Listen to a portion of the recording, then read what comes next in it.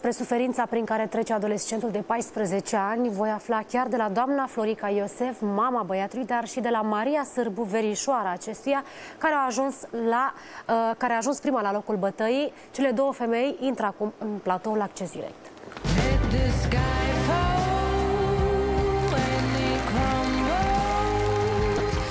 Bine ați venit, bună ziua!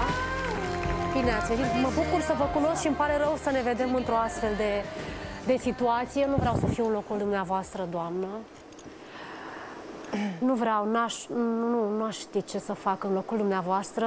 Eu vreau să spun și telespectatorilor că am văzut imaginile neblurate cu chipul băiatului dumneavoastră și m-am îngrozit. N-am putut să le mai privesc a doua oară.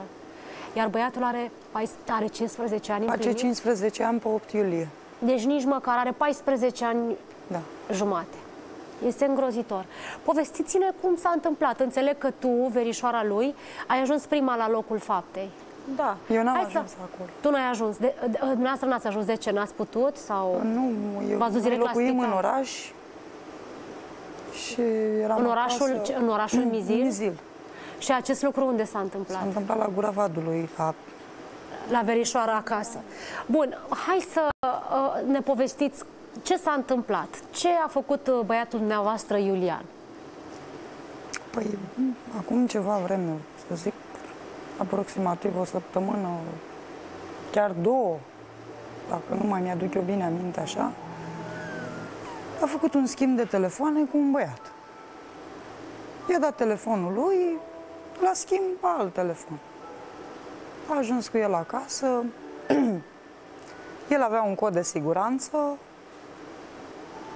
probabil era la muncă în momentul ăla, n-a avut timp să îl deblocheze și așa, a plecat, a, a venit de la muncă, l-a sunat aicăsul respectivul, respectivului băiat căruia îi dăduse da, telefonul. Da, lui Mândricel. Da. Să-i spună că ce? Că nu merge telefonul. Băiatul i-a dat semnul care avea el codul ăla de da. siguranță, da. i-a deblocat telefonul, a mers telefonul, telefonul era nou, nu era stricat, nu avea niciun defect, chiar m-am certat cu el. Că l-a dat. Că l-a dat, pentru că am zis așa, tu ai să iei telefoane de-astea așa, dar un lucru ca lumea, n-ai să le iei de la băieți din ăștia. Bun, a fost o hachiță de-a lui de 14 ani, da. să aibă el un alt model de telefon, îi plăcea să facă modelul. schimb. Nu, îi Așa. plăcea modelul ăla foarte mult. Și ce s-a întâmplat după ce v-a sunat, la sunat tatăl? I-a dat modelul, a fost totul ok, o săptămână a fost liniște, nu s-a auzit nimic, nu... absolut nimic. După o săptămână, totul s-a petrecut atât de repede că nici n-am avut timp să-l întreb cu cine să ceartă sau... N-am știut nimic. Să mă trezesc că mă sună la 11 noaptea, în data de 19, un 19 copil, mai. 19, 19 mai. mai. Un copil că i-a rupt dinții din gură. Trei inși l-au bătut, i-a rupt dinții din gură. E... Nu l-am crezut, bineînțeles, că am zis eu, o toană face glume, nu era de crezut așa ceva. Mai m-a sunat odată, i s-a întrerupt, urmă l-am sunat eu, mi-a spus că e în salvare, de acolo am zis unde să mă duc acum, zic. Unde l duce, că nu știam. M-a sunat Fraxul la mare, că l-a sunat pe el. A sunat el deja la secția de poliție la Gura Vadului. Și el m-a sunat și mi-a zis, îmbracă-te și du-te la spital, că l duce la spitalul mare.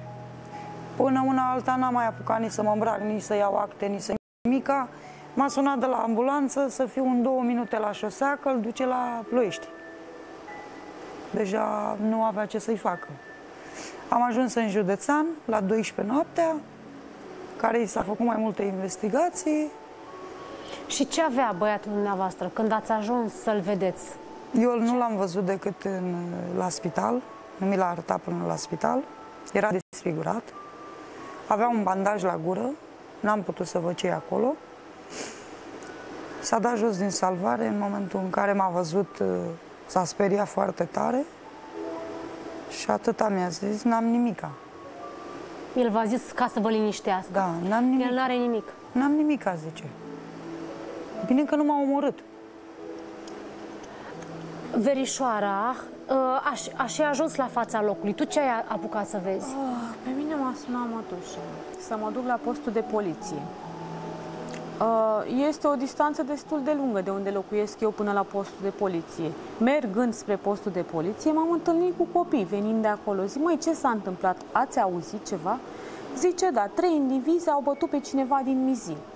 Ajungând la poliție, toți erau afară, care uh, chiar uh, din cei trei agresori doar unul și ceilalți erau prieteni de alu vărmior, dar toți sunt minori nu sunt uh, uh, bărbați în toată firea sau erau speriați, plângeau.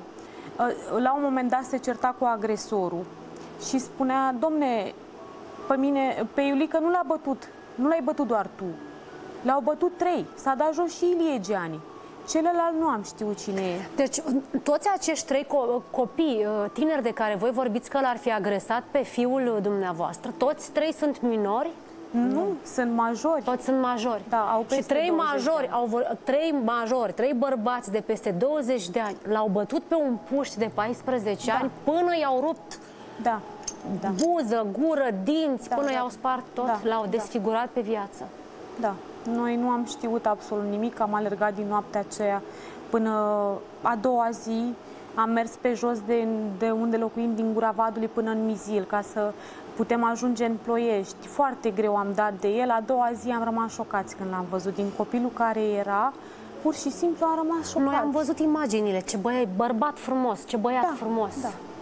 Era da. el la 14 Nu duce nimeni înapoi. Era sprijinul mătușei mele. La 14 ani s-a lăsat de școală pentru a-și ajuta familia. Pentru că sunt foarte amărăți. Și Uh, de, au preferat să muncească decât să fure, să dea în cap sau să facă alte rele. E un copil foarte bun. Mama mea l-a botezat. A crescut la noi, cu noi. Uh, nu ne vine să credem prin ce trecem. E foarte greu. Iar este singurul, este singurul dumneavoastră copil? Nu, am trei. Mai aveți trei? Mai mari? Am un băiat de 22 de ani, căsătorit, care la rândul lui are o fetiță, are familia lui și mai am o fetiță de 10 ani. Deci mai aveți o fetiță de 10 ani și pe el de 14 da. ani.